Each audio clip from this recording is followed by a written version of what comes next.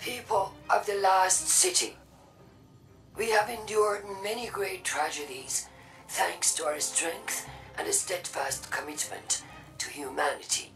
The traveler chose us. It abandoned the fallen because they are unfit, unworthy of the light. They would take it from us if they could. The vanguard have lost their way. They embrace the darkness.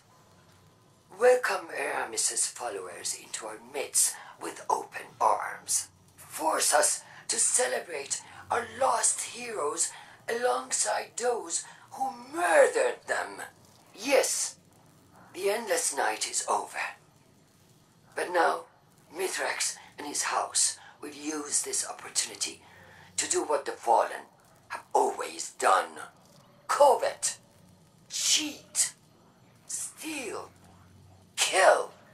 have seen the future with my own eyes.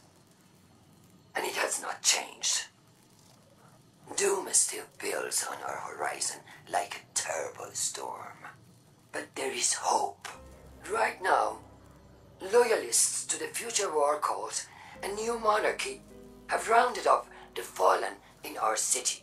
With the aid of Osiris, I have learned how to safely command the power of the Vex.